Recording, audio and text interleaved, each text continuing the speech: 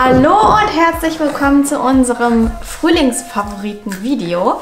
Und ich habe einige Sachen dabei. Äh, die letzten Male war schon ziemlich auf Noah bezogen, aber ähm, ich habe mich so ein bisschen inspirieren lassen und mir einige äh, auch Klamotten für den Frühling geholt und vielleicht gefällt euch da ja was und ich versuche euch alles mal zu verlinken oder ähnliche Produkte euch aufzuzeigen. Und wer kommt mich da besuchen? Eine kleine Noah-Maus. Licht, du willst hier sitzen bleiben? Ja. Okay. Also, wir fangen an mit Noahs Sachen, wenn er schon mal hier sitzt. Ich habe eine Jacke bestellt. Das ist eine, äh, sie nennt sich Wollwalk. Ich hoffe, ich spreche das richtig aus. Wollwalk. Woll, Wollwalk Jacke in, ähm, in so einem Braunton, in so einem Erdton. Äh, Wollwichtel. Und äh, die Jacke sieht so aus, die ist von innen gefüttert, aber die ist nicht so dick. Also wir haben ja so eine Downjacke von Zara und die hält schon extrem warm. Und das ist jetzt eine schöne Übergangsjacke. Aber die ist echt schön mit so einer Zipfelmütze. Die, das ist jetzt Größe 3. Das ist, glaube ich, 98. Ich habe die extra ein bisschen größer gekauft, damit er dieses Jahr diese Jacke im Herbst noch anziehen kann. Vielleicht sogar auch nächstes Jahr. Also ich weiß es ja nicht, ne? Ach, ich sehe jetzt erst, hier sind auch noch so Taschen eingenäht. Aber ich werde auf Instagram bestimmt mal ein Foto posten, wie er das anhat. Oder vielleicht kriege ich ihm das jetzt auch gleich angezogen. Mal gucken. Äh, außen, der Stoff heißt, glaube ich, Volvag. Volvag? Volvag? Bitte lacht mich nicht aus. Der Stoff heißt Volvag. Und innen drin ist äh, Teddyfutter. So schön kuschelig warm soll das halten. Ne? Wirklich, wirklich süß. Ach ja, und dadurch, dass die Ärmchen hier so lang sind, ähm, kann man die auch echt noch lange, lange anziehen, auch wenn man da schon ein bisschen rausgewachsen ist. Ich freue mich sehr, dass ich mir jetzt diese Jacke geholt habe. Ich hatte die vorher in Größe 110 bestellt, weil ich dachte, okay, jetzt ähm, bestelle ich sie mal noch einen Tick größer, damit sie noch länger passt, weil die war recht teuer mit 85 Euro. Aber ich wollte schon immer so eine Jacke für Noah haben, deswegen musste ich sie holen und sie ist ja auch für Männlein, Weiblein, ne? Man muss ja auch mal für die Zukunft denken und deswegen habe ich mir die einfach mal jetzt geholt. Bei Zara habe ich diese, dieses schöne T-Shirt gefunden. Das hatte er jetzt auch schon in seinem Fotoshooting an. Ich, äh, jetzt erinnert mich das ein bisschen an Dalmatina, wenn ich das jetzt so sehe. Aber ich fand es richtig schön mit einer roten Hose. Aber ist ja eigentlich auch egal, mit was ich das kombiniere. Das T-Shirt alleine schon wunder, wunder, wunder süß. Mann? Okay. Ähm, jetzt nochmal zurückzukommen auf diese Hose. Wir haben die ja bereits schon in so einem dunkelgrau und äh, die war perfekt jetzt für den Winter. Ähm, aber allgemein finde ich die auch ganz gut für draußen. Das ist nicht so eine normale Stoffhose, sondern von innen und außen mh, hm, doppelt beschichtet. Also von außen mit so einem Kordstoff. Und ja, ich finde die Farbe sehr schön. Das ist jetzt Größe äh, äh, 86. H&M, das von H&M und ich finde ja H&M ist auch recht groß.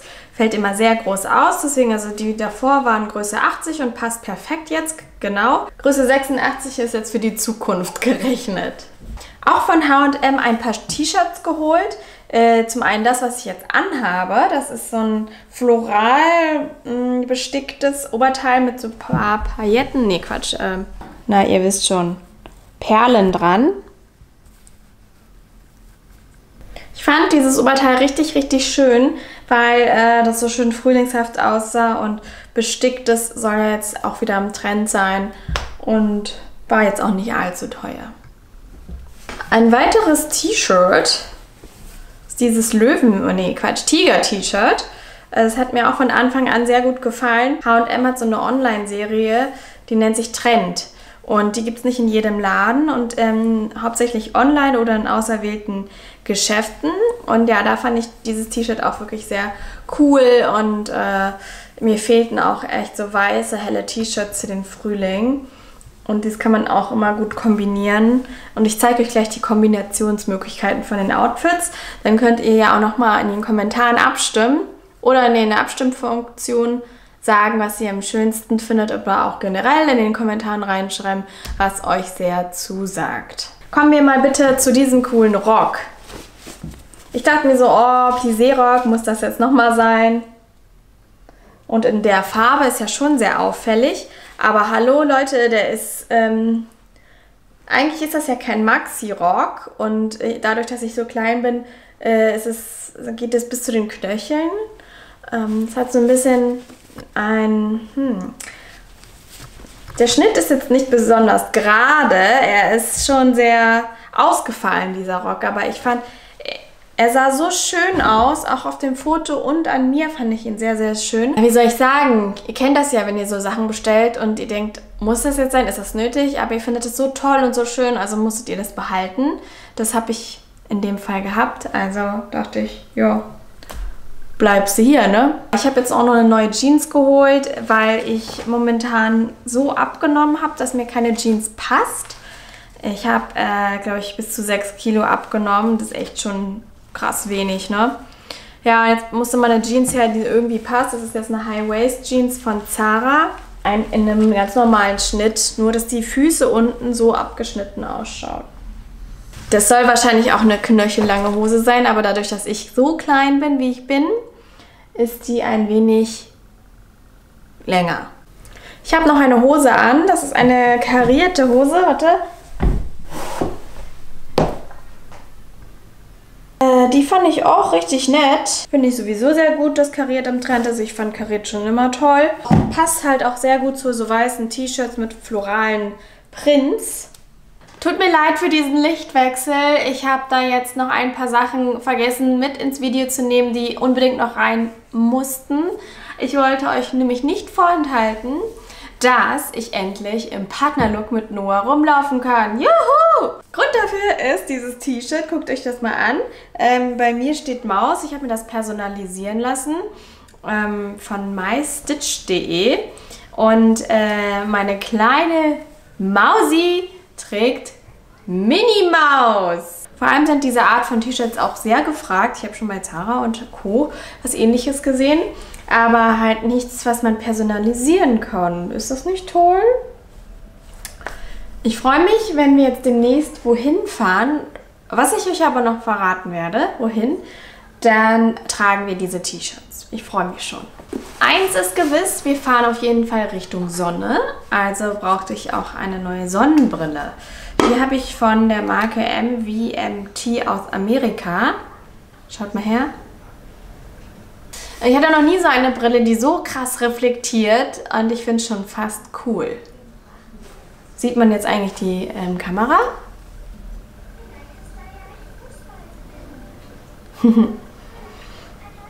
ich mag die Form auch sehr gerne. Ich muss mich mal gerade selber anschauen. Also ich mag die Form sehr gerne. Die ist so ein bisschen Cat-Eye-mäßig. Und ist auch eine recht leichte Brille. Und mega cool, oder? Passend dazu habe ich auch noch eine neue Uhr von MVMT und in so einem Roségold.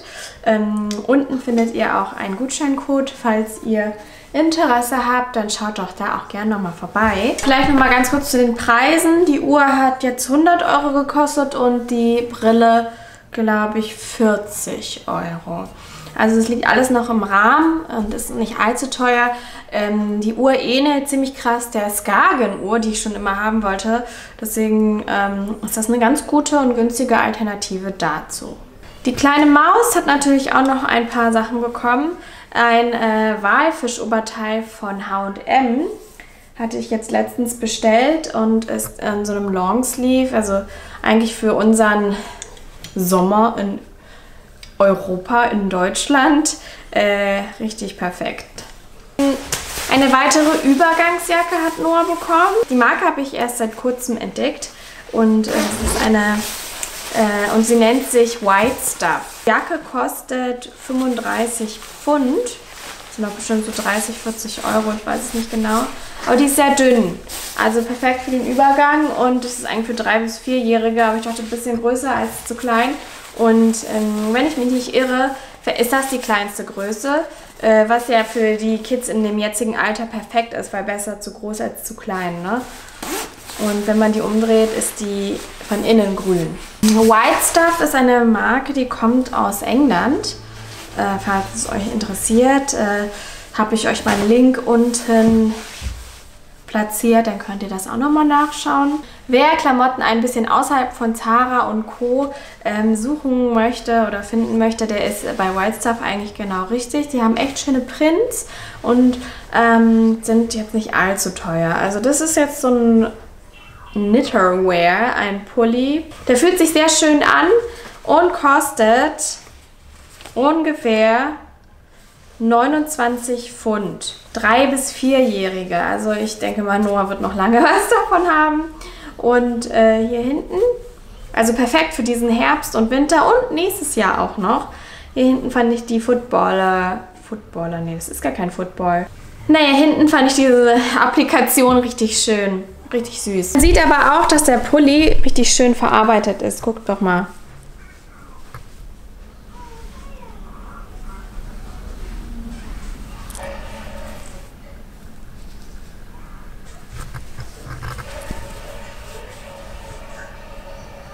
Ich liebe es ja, Noahs Klamotten oder generell alles für Noah einzukaufen. Ich glaube, mein Mann hat noch nie, noch nie für Noah etwas gekauft.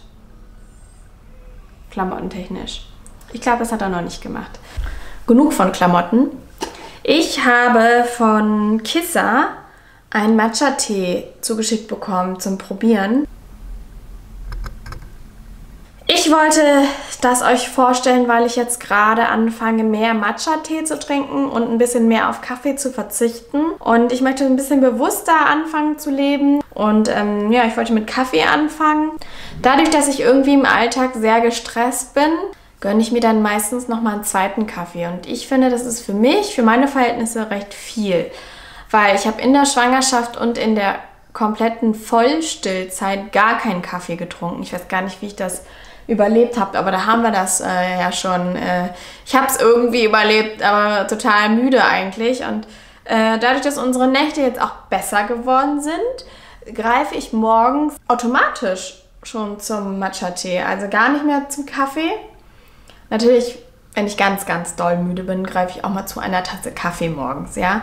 Aber meistens trinke ich dann keinen zweiten Kaffee mehr, sondern eher einen Matcha-Tee.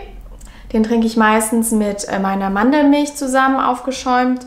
Oder es gibt noch 10.000 Rezepte, ähm, die ich mit Matcha-Tee machen kann. Und da wollte ich euch auch auf jeden Fall mal was zeigen. Aber ich kam noch nicht dazu, das auszuprobieren. Aber ich werde ähm, die Kamera mal mitnehmen, wenn es dann irgendwann mal passieren sollte. Ne? Mein Tipp des Tages von Kissa, Matcha Tee Supermodel Secret.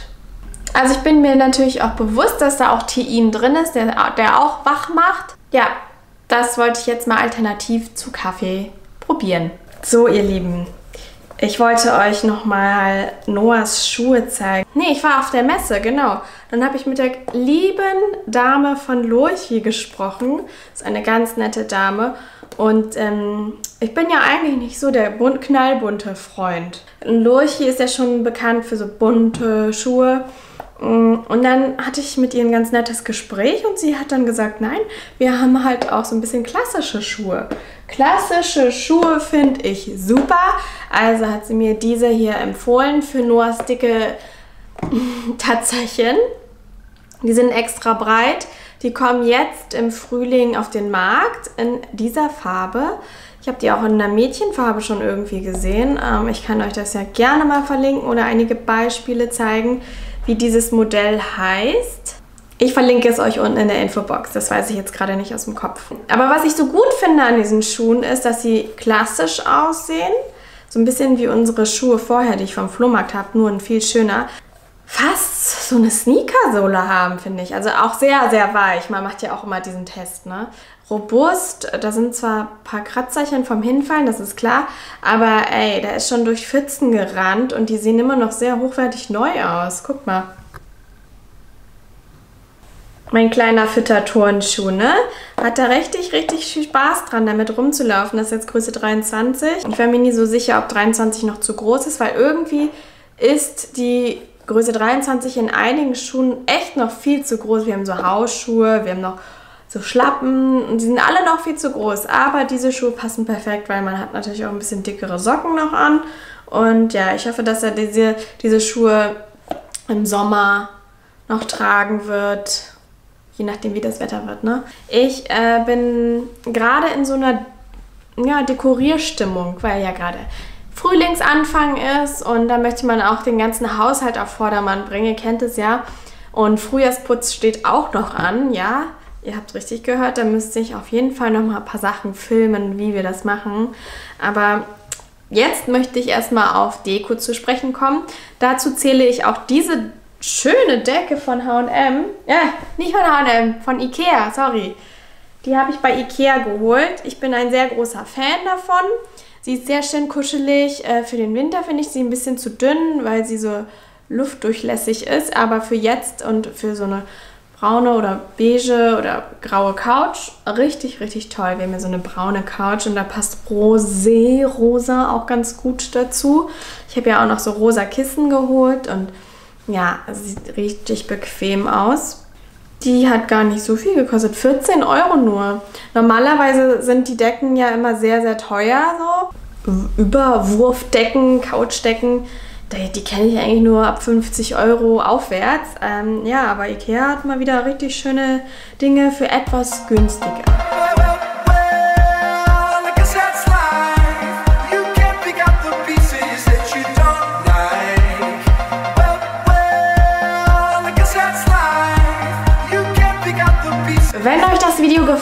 Hat, bitte unterstützt mich mit einem Daumen hoch oder mit einem Abo. Und ja, ich bedanke mich fürs Zusehen. Bis zum nächsten Mal und tschüss.